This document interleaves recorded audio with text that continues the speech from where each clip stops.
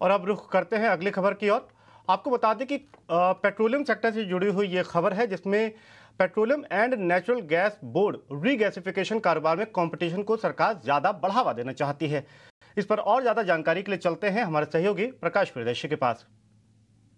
देखिए, सूत्रों के हवाले से जो जानकारी हमें मिल रही है, उसके हिसाब से petroleum and natural gas regulatory board ने इस बात की वकालत की है कि जो एल एन रीगैसिफिकेशन बिज़नेस है, उसमें ज़्यादा कंपटीशन बढ़ाने की ज़रूरत है ताकि कंज्यूमर्स को इसका बेनिफिट मिले।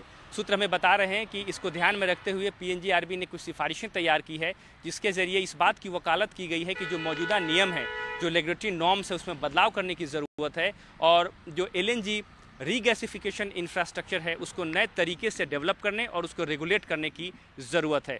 सूत्र हमें बता रहे हैं कि इसके ज़रिए पीएनजीआरबी ने यह वकालत की है कि जो नए प्लेयर्स हैं, उनको रीगैसिफिकेशन बिज़नेस में ज़्यादा से ज़्यादा पार्टिसिपेशन दिलाने में मदद मिल पाएगी और पेट्रोनेट एलएनजी की जो मोनोपली है उसको भी ख़त्म करने में मदद मिलेगी ताकि कंज्यूमर्स को ज़्यादा बेनिफिट मिले। सूत्र हमें बता रहे हैं कि जो सिफारिशें की गई हैं, उसमें कई इंपॉर्टेंट पॉइंट्स जिसको शामिल किया गया है। साथ ही साथ पीएनजीआरबी ने पेट्रोनेट एलएनजी लिमिटेड को एक चिट्ठी लिखी है जिसमें उसके फाइनेंशियल परफॉर्मेंस से रिलेटेड जो डिटेल्स है वो मांगे गए हैं।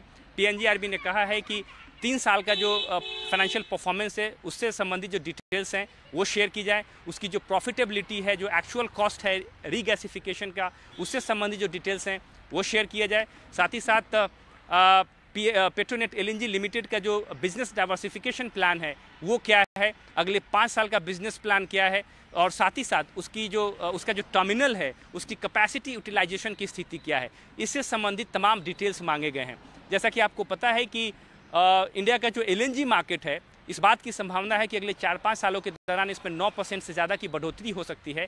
लिहाजा मार्केट में ज़्यादा कंपटीशन बढ़ने से कंज्यूमर्स को बेनिफिट हो सकता है, नए प्लेयर्स की एंट्री हो सकती है।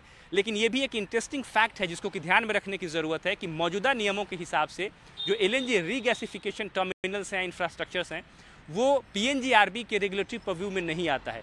लेकिन जो हालिया डेवलपमेंट्स हैं जो ये सिफारिशें तैयार की गई है, उस, उसके ज़रिए ये माना जा रहा है कि पीएनजीआरबी ये इंटेंशन शो कर रहा है कि वो एलएनजी रीगैसिफिकेशन टर्मिनल्स को भी रेगुलेट करना चाहता है। धन्यवाद प्रकाश। खबर को विस्तार से बताने के लिए फ़िलहाल वक्त है एक छोटे से ब्रेक का। ब्रेक के उस पर खबरें और भी हैं।